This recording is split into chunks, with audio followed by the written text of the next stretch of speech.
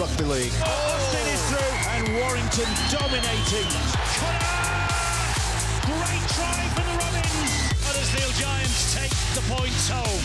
Hey, Vincent is a poor lad. That is one sensational try. Look with a drop goal. Leeds gather round in jubilation. It's hit the post. It's Welsby. Welsby might have got the try. St Helens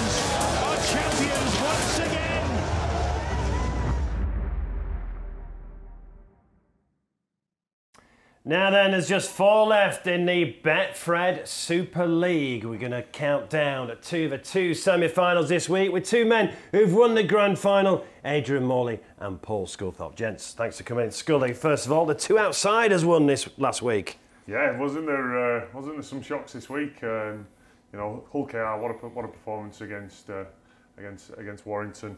Um, fabulous, you know, performance, and uh, and obviously Leeds turning over Wigan. You know, Wigan coming off the back of a, a good win against Catalan Dragons. I thought, you know, they seem to show that bit of resilience towards the back end of the year. Usually, what we see from that Wigan side, but you know, it's been a been a poor season from them.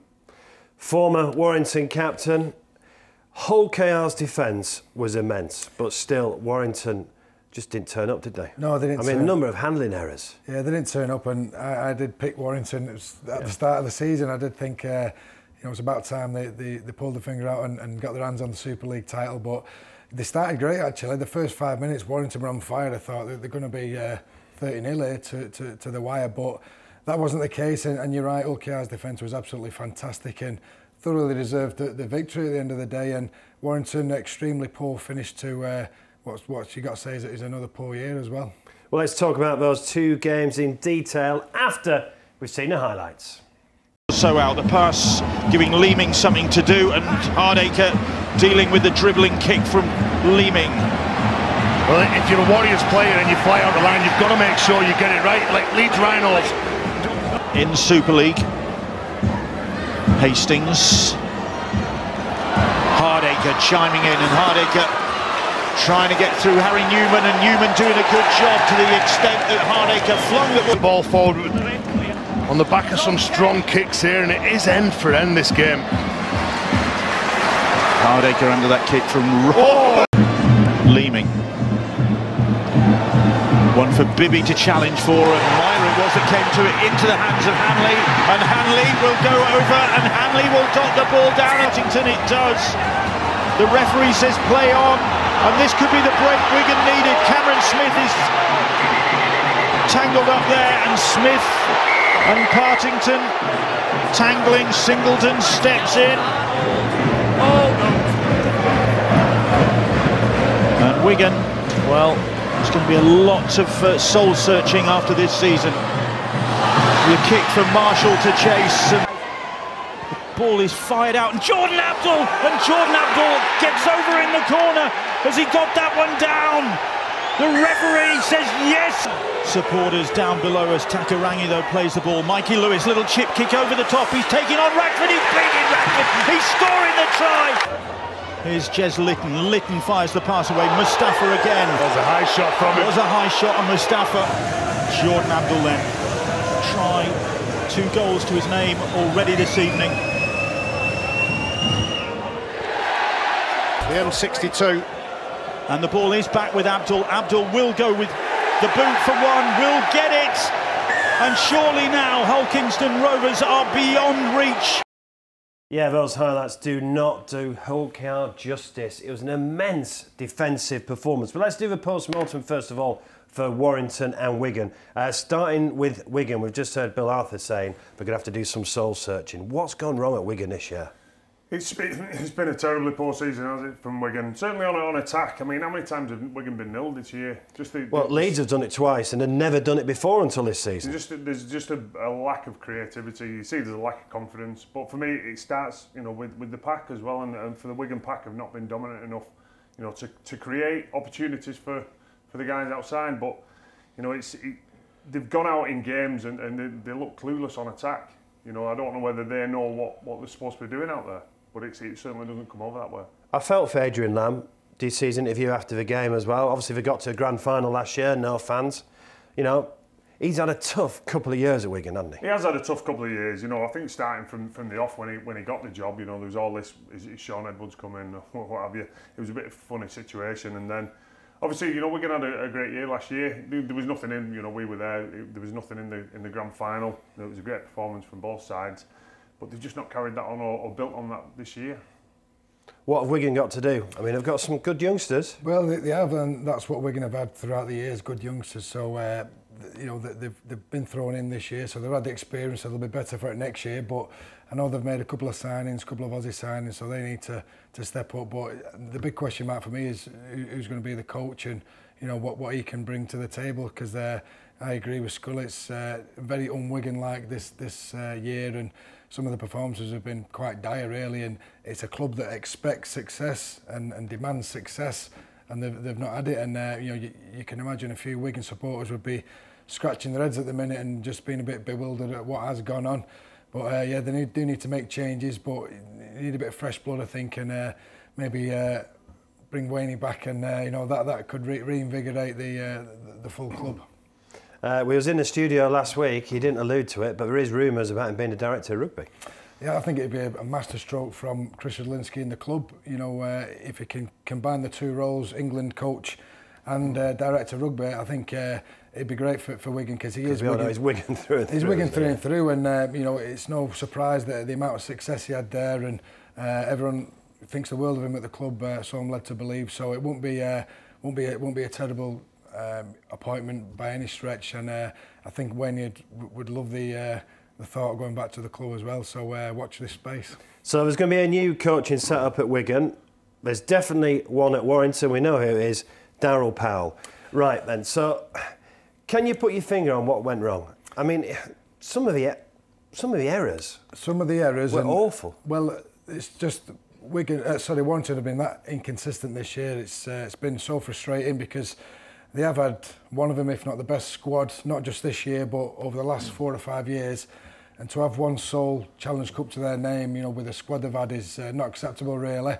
And that, that final last week was, was just the uh, typified what they've been like all year. You know, first five minutes fantastic, and then again inconsistent dropping balls and whatnot. Now, a lot of pressure has been put on Daryl Powell, and, and quite rightly so. You know, theoretically, he's got the best out of. Uh, a very limited squad at, at Castleford, you know, with all the, uh, the star players there and, um, you know, all, all the money Sam and Ram spent. On paper, it, it works very well, but uh, there's a bit of pressure on Daryl, but I'm sure he'll, he'll enjoy that pressure. And, uh, and as I've say every year, it's a standing joke, it's Warrington's year, but they should have definitely won the, the, the Super League at least a couple of times over the last, you know, 10, 10 years or so.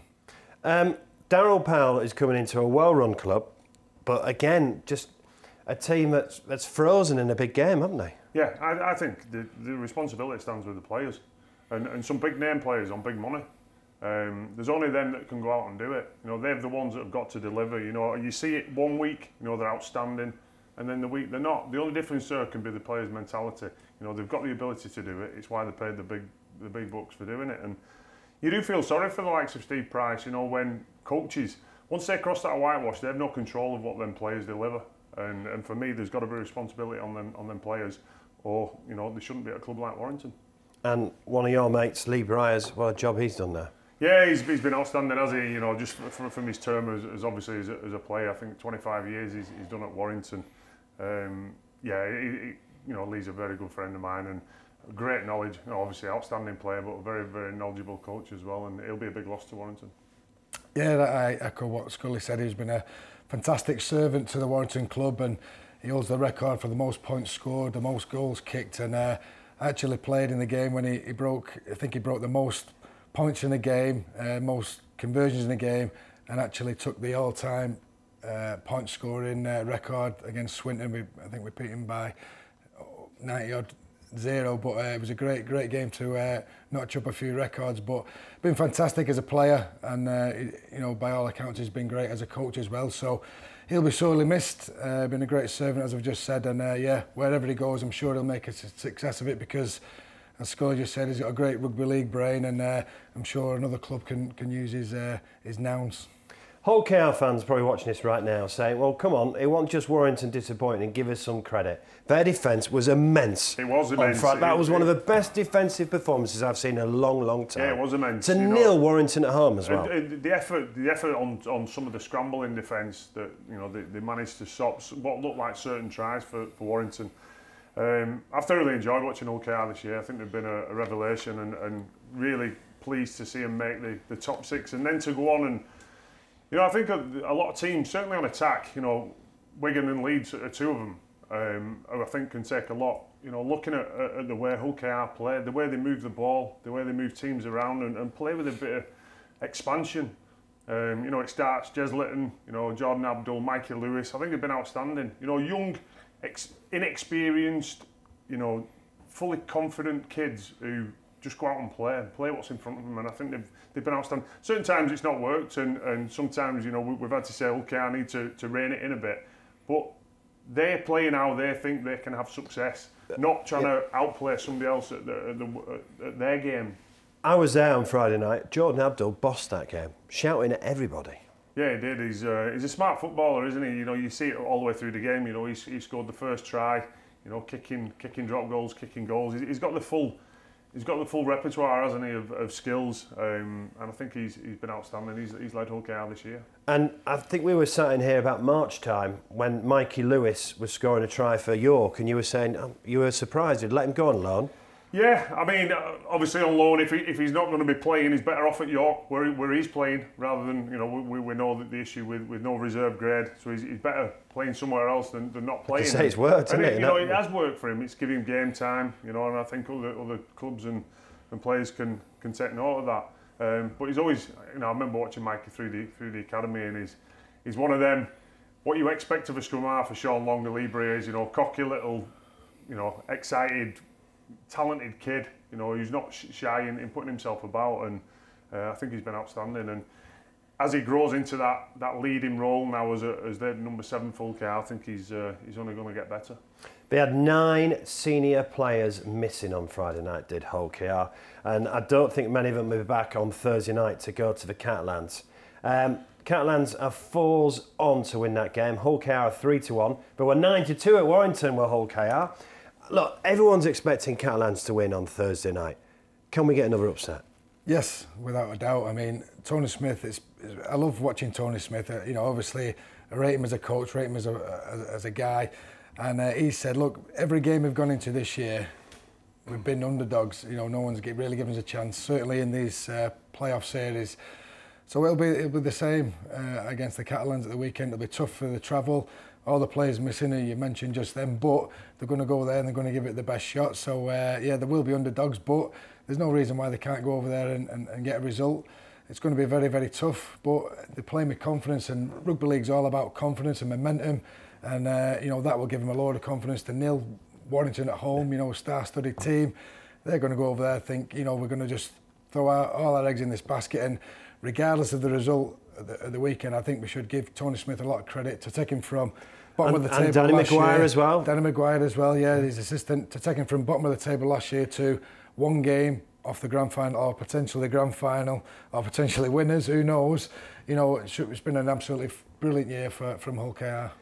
I just thought it was that sort of band of brothers performance about him on Friday night, and I just said to someone, "You never know, they could do it Catalan." Yeah, that's the great thing with, with this game, isn't it? And certainly in the in the playoffs, and when you come to the business end of the season, it, does it does go up a notch. So you know, some teams can't handle that in, intensity, and Hull KR, they, you know, th- there's no pressure on them. You know, they, they weren't expected to to get to where they've got to so far. So you know, nobody expects them to win, but they will. I've no doubt they'll go into that game with, with full of confidence to, to go and you know build on the back of that, that great win last week. Well, let's turn our attention to the Catalans. They've won the League Leader Shield for the first time, let's say, from their coach, Steve McNamara. You know, they're a good team. They deserve to be where they're at. It's not by accident where they're at. They've worked extremely hard, quite clearly. And to go to Warrington and win 19 0 is a tremendous result. So uh, we've had three fantastic tussles against them so far this season. We expect another one um, on Thursday night. Yeah, it, it's a reward for everybody involved at the club. Uh, without doubt, you know, it is um, from Bernard, you know, the rest of the directors, our supporters, the players, everybody else. Like I said, we, we've earned the right uh, to be at home in this game. And, you know, look, the Challenge Cup games where we got drawn at home but had to play away, we understood that. You know, we didn't particularly agree with it, but we understood the circumstances. But now, um, to get a game of this magnitude, to, to fight so hard throughout the season, I think the consistency, particularly over the last two, two seasons, has been there for us. But to earn the right to play this game at home um, is great, you know, and uh, it will be a special occasion here on Thursday. It certainly will be a special occasion. It'll be a bouncing crowd as well. What a job he's done. Million pound game, winning the Challenge Cup, League Leader Shield. What a job he has done. He has. He's done a great job, hasn't he, Steve? He's, he's built a, a, real strong squad. And, and obviously, you know, they, they found that consistency at last. Um, they've got some stars in that team. And, you know, Sam Tompkins being, being yep, one. back in big, training. So. A big, a, big, question mark on, on whether Sam will play. I think uh, he'll I think play. So. I think he'll play. I think we will play. Um, and he's, he's massive for, for Catalan, you know, and that spine of the team, you know, along with, with Drinkwater, Maloney and, and McAlorum. Um, I just think, you know, they, they fully deserve the, the league leader shield and how good's it going to be to see a, a full Brutus Stadium? You know, I believe tickets were were flying out the door, you know, day one, and and, pretty much sold out. So it's going to be a, it's going to be a hostile crowd for for Hull KR. That'll be a, a challenge for them. Obviously, you know, the, the trip to France and then a, a very very parochial crowd. Um, it should be a great occasion. How good has James Maloney been this season? Absolutely fantastic. You know, for for a for a team to do well, you need a you know strong. Uh, half-back, and uh, he, he's been absolutely outstanding. But I just want to mention what, what Scully said then. For Steve McNamara to do what he's done with the team, I think it's great for the sport. You know, for other people, knockers of, of Catalans coming into the competition a few years ago, they've been in a massive, massive, huge positive addition to, to the Super League. To have won the, the, the Challenge Cup, league leaders. There's only one off missing off the resume now, and that's the grand final. But they are a glamour club of of the Super League, and I'm delighted to, to have seen what they've done this year. But uh, but yeah, yeah, J James Maloney and Sam Tompkins, they, they have got star players, but they're, they're also playing really well as a team. And um, and Scully mentioned the consistency. You know, there was always extremely good at home, very very tough to beat at home, but they've got that form away from home now as well. So it's going to be tough uh, for for Hull KR, but. You know, we mentioned that they're just going to uh, put, throw throw all the uh, eggs in the basket and uh, see what see what happens. Right, before I get your predictions, and obviously it was a two outsiders that won last week, a 14 to 1 double, uh, Leeds and Hull KR. Uh, let's get more from the Hull KR camp and hear from Chris from the Red Robin podcast. Chris, I spoke to you last week and you said there was hope of going to Warrington and getting a result. There was a bit more than hope. Hull KR went to Warrington and nilled them. Yeah, what an amazing result and, and an amazing performance. You know, a number of players really, really took the challenge to Warrington on the night. And we expected Warrington to come into the game and, and probably show a bit more than what they did. But I think Rose did a really good job in nullifying the threat that Warrington posed. And and we saw that in the the enthusiasm to defend, uh, some you know the creativity in attack. And for me, it was a really complete 80 minutes performance. So I wasn't expecting it. Like I said, we was going in hope that Rovers might, you know, might put in a good performance. We might run Warrington close, but in the end, to get that result was was absolutely unbelievable. And and the, the feeling on the terraces was culpable. You know, everyone was just absolutely buzzing for that result, and and you know, hopefully we go to Catalan and it, you know it might be the same again. Well, Catalan's Dragons stand in between Hull KR and Old Trafford. It will be a tough ask as in the south of France as well, of course. But I tell you what, that Rovers team won't be short of any confidence, will it? No, and we, we've already played them three times this season, and I think there's only been ten points difference in in, in all of them three games. So it, it's it's really teed up for a fantastic occasion. And you know, Rovers don't fear anyone. That we've seen, we've shown that. Uh, you know, when we played Warrington uh, last week, we've shown that against Wigan. We, we really don't fear, uh, fear any team, and I think Rovers will go into that game full of confidence, knowing that they're only 80 minutes away from from Old Trafford. Um, you know, the pressure's all on Catalan. Really, they've had the sold out signs up for for a long time. There's a a lot of anticipation around the Catalan Dragons. So Rovers go over there knowing that if they put a performance in and they back each other like they did against Warrington, that they've got a, a great chance of getting the victory. And I'm sure it's going to be an entertaining game because the, the previous three occasions we've played each other has been has been real humdingers. So it's setting itself up for a fantastic night on Thursday. So go on, give me a prediction for Thursday night. Can you do it? Uh, well, I, I don't. I, I, don't expect us to nil Catalan like we did the Warrington Wolves. I, I think Catalan will be definitely be good for a few points. So it'll come down to whether we can outscore them. No, you know, no matter how good our defence is, whether we can outscore them. And I'm going to go for a, a drop goal victory uh, in Golden Point. right then, your prediction was. I just think Catalans could be one step too far for, for Hull KR. Just, I thought that about Warrington. yeah, well, I think just with the uh, the travel and you yeah. know it was a bruising game, even though they Come were quite convinced. I think Catalans uh, will will uh, will beat Hull KR. I think it's a, it's a big one for Hull KR to travel over there and get up to, to, to the level that they, they got to last week. You know, this week it have been it have been immense for them on that on the back of that big win. Uh, can they do it again? I'm going to go for a Catalan win. Right, let's talk about the other semi-final. Let's start with your old club, Leeds, nil in Wigan for twice this season. Um, people coming back as well into the squad.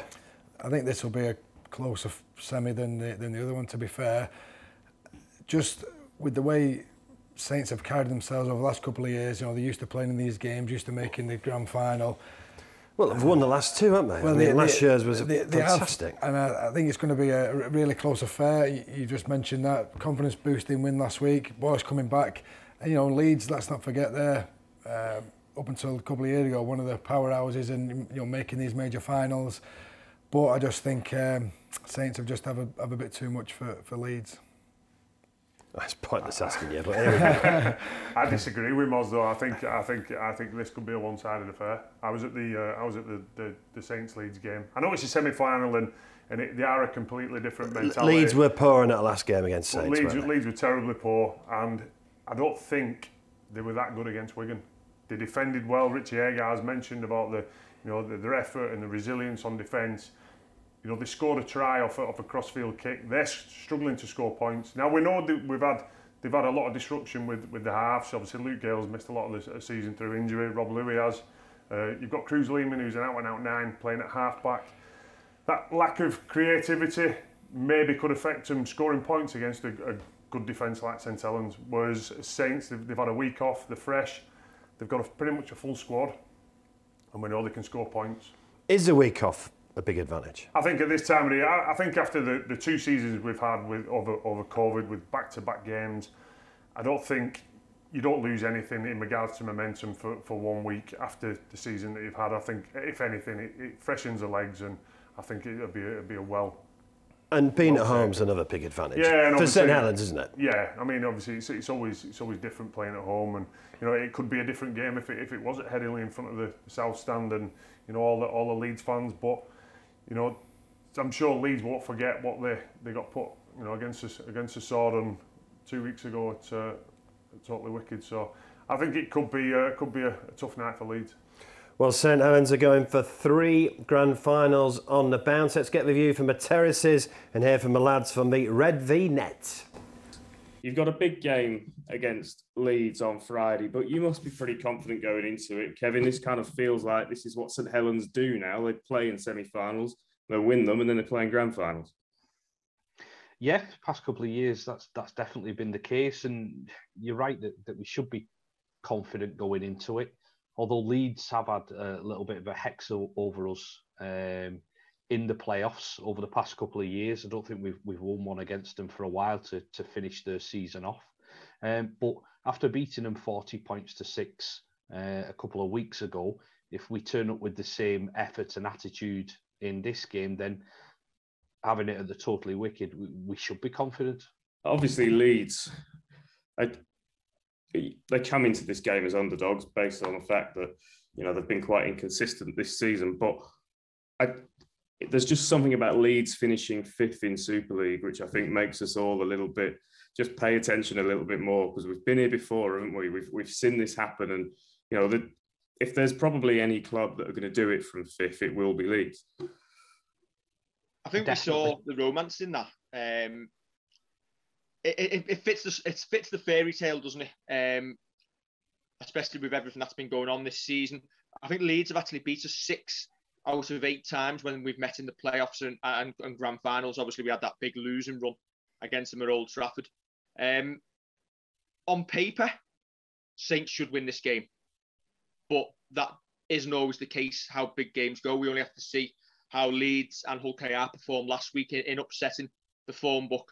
Um, and we've been upset a couple of times at home this season ourselves against the likes of Castleford. Uh, so we'll be wanting to make sure that doesn't happen this week. Right, gents, before I let you go, Kevin, I'm going to come to you first. I want a, I want a prediction, I want a, a result and a margin and a first try scorer from you. Uh, result and margin, right? We'll go because I think it's going to rain on Friday, so I'll go quite low scoring. Um, I'll go 20 points to four. First try score at Regan Grace. I'm assuming that's St Helens 20 to 4. That's to St Helens, yes. Dave? Now, anybody who knows me knows I don't like to be too confident, so I'm going to go St Helens 38, Leeds 6. uh, and I'm going to go, I don't even know if he's going to be playing. Sione Mata'utia, first try scorer, because I've done him all year. And the only time that he's actually come in is the one occasion where I didn't put it on. Uh, cheers to uh, Dave and Kevin. Right, Moz, prediction for St Helens Leeds. Uh, I think I'm going to disagree with Scully. I think it'll be a lot closer. Um, you know, Leeds are going to go there and just throw caution to the wind last game of the season, uh, or potentially. But I think uh, Saints win. I think it'll be 20 points to 16. Oh. I think Kev's been reading my column. I, uh, I picked a 16, 16 point win for, for Saints. I just think they've they've got too much. I think the, the backfield, you know, Coote, Grace and, and Makinson, just get them on that front foot, you know, giving the likes of, of Walmsley, and then, you know, we look at the strike players that they've got. And I think Leeds have got to be able to, to score points, which I think they're struggling at the moment. It's also the playoffs in the Championship. It's Toulouse versus Batley Bulldogs, Featherstone versus the Halifax Panthers. Good luck to all of those. That'll be the million pound game the day after the grand final. Uh, we've got a League One semi final. This is to play Workington. It's Keighley versus Doncaster. Good luck to those. We know the grand finalists in the women's game as well. Uh, Leeds beat York 22 18, and St Helens put a convincing win over Castleford, winning 58 0. Bets here from their skipper, Jodie Cunningham. Jodie, firstly, congratulations on a fantastic win for you and your St Helens teammates at the weekend against Castleford, and you are 18 minutes away from lifting the Betfred Women's Super League title and completing the treble. Yeah, uh, really good victory. I think the girls were outstanding yesterday, as they have been all season. But I really think we're building in momentum. You can see the improvement from sort of game one to where we're at now. And we did set ourselves a target of of doing the treble this year. You know, we didn't think that was out of reach, and I think what we've done this year has surpassed anything I expected. You know, we've blown teams away You have so much quality. So yeah, it's just 80 more minutes now just to put in the hard work, hopefully continue with that strong performance. And yeah, fingers crossed it's a it's a Saints treble. And obviously 2019 belonged to the Leeds Rhinos, which would have been frustrating for yourselves. We were all frustrated, of course, by the cancellation of the Women's Super League in 2020. But there's been a ruthlessness about St Helens this season. You've really put teams to the sword. You've really gone about your business in a very measured and controlled way. You must be really pleased and confident based on that going into this final yeah, you know, it, like you say, it was disappointing for everyone to, to lose out on that 2020 season. Saints, we got beaten two semi-finals um, in 2019, and it was just last minute try, so it was really disappointing. We felt like we underachieved, and we went into the 2020 season. We'd done all the preseason, and we felt ready. We felt like you know last year we were more than ready to lift some silverware. Um, and with the cancellation, we just made sure that we took advantage of the extra time we had. You know, we didn't take our foot off the pedal despite not playing any games last year. You know, we worked solidly on fitness, um, our defence, we worked loads on um, that core skill and ability, which I think has been evident this season is that we've really kicked on and utilised the time off that we had. So, yeah, to see the girls put out the performances they've had, not just the quality we've added to the squad, but the girls who've been there for years are playing the best rugby I've ever seen them play. And I think that's just as rewarding as sort of the new players we've added to the squad who are absolutely shining as well and putting massive points on the board. And the final, St Helens versus Leeds, live on Sky on Sunday the 10th, the day after the grand final. Scully, very quickly, just great the women's game getting all this profile. Yeah, it's fantastic, isn't it? It's a, it's a great product to, to watch and, you know, congratulations to, to Jodie and her, her Saints team. You know, she spoke there about the, the work that they've put in over, over the last uh, probably 18 months uh, certainly through this this tough, tough COVID period, and you know they've got some some big players, you know, with a lot of experience, like Emily Rudge, Amy Hardcastle, girls like that, uh, and I think they've had a, an outstanding season. On Monday, the Steve Prescott MBE Man of Steel Award will be announced live on Sky. Here's the candidates. Jordan Abdull fits the mould of what Tony Smith's after in a player.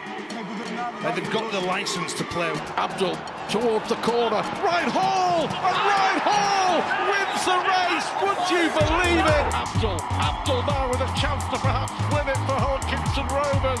And there is the goal! A drop goal from Jordan Abdull. This is Jake Connor! And Connor's going to find the line!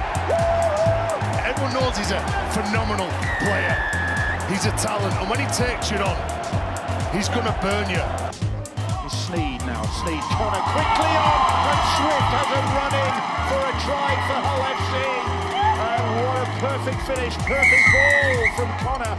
Sneyd hoists the kick, except it's Connor who claims it and provides it for Mahe Fonua. An amazing piece of skill from Jake Connor. You can't, you cannot keep him of the action. Fifth tackle, short ball, and he's over the line. He's Lomax. Lomax. And in goes Percival for another St Helens try. It's been coming for a while. And again, that crisp St Helens handling, leaving Hull FC clutching at shadows. Well, he's a dual threat. He's, he's a great ball player, but he's also a great runner. So he's, he's, it's tough for defences to work out what he's going to do. And can Sam Tomkins engineer an opening? Tomkins weaving his way through, looking to get to the line. He's over, he gets the pass away, and they do, do get the first try of the game. And Matt Whitley was right there. Brilliant kick from Josh Drinkwater. Gets its reward in the shape of a try for Sam Tomkins. On by Drinkwater, and Tomkins a little step, another step from Tomkins, and Tomkins, magnificent! Magnifique! From Sam Tomkins under the noses of the Saints supporters. Widdop, King now, and Toby King accelerates away. Support left and right, he's going to go inside to Widdop. Fantastic try again from the Warrington Wolves. Widdop over the top. It's a spectacular finish in the corner. Widdop, Widdop breaking up the middle, aiming for underneath the post, gets his second try of the game. Hat-trick last time out, two tries tonight for Gareth Widdop. So the winner will be announced on Monday night. Good luck to all five candidates. Who would you pick then? Well, I think uh, obviously you know five five worthy candidates and uh, some more consistent than, than others. Uh, but for me, I think we'll we'll see the guy. Hopefully, see the guy out there on uh, on Thursday night. Uh, for me, there's there's only one winner there. It's Sam Tomkins. Yeah, I agree, Sam. And if he does get his hands on the trophy, I think it's fantastic that he's uh, he has won it before. He's a two-time winner, like my friend over here, and you know to win it 10 years apart shows a great level of consistency and dedication and if he does get his hands on it well done to Sam and I think he's had a fantastic year and it would be no surprise that Catalan's won league leader shields on the back of his performances so it'll top a, a great year for the for the club and for Sam himself. He did two years on the bounce, the only man to do it. I'm surprised he didn't mention it. Right, sum up two cracking semi-finals I think we've got. Two cracking semi-finals. You know, I've picked my predictions. I think Saints and Catalans, but it's, it's certainly not a foregone conclusion. Hull KR are going to go over there with confidence. They're going to just uh, throw everything at the game, nothing to lose. Uh, and Leeds, you know, they've got a few players back, big game players, Leeds, and again, they're going to go over there, not as favourites, underdogs, nothing to lose. Last game of the season, huge, uh, you know, grand final at stake. I still think them two guys, but it's going to be two fantastic semis. I can see it. You can have the last word. Yeah, I'm, I'm really, really looking forward to these two games. I think they're two exciting games, and it's do or die rugby, isn't it? You only get one opportunity.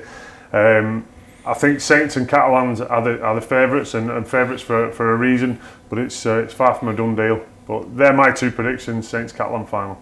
Uh, cheers, fellas. Thanks for coming in. Good luck to the uh, teams in the Championship playoffs and the League One playoff. And the uh, Championship and League One and uh, Betfred Women's Awards will be on Our League app on Wednesday night. Right, enjoy it. It's getting exciting. This time next week, we will know the two finalists for the Betfred Grand Final at Old Trafford.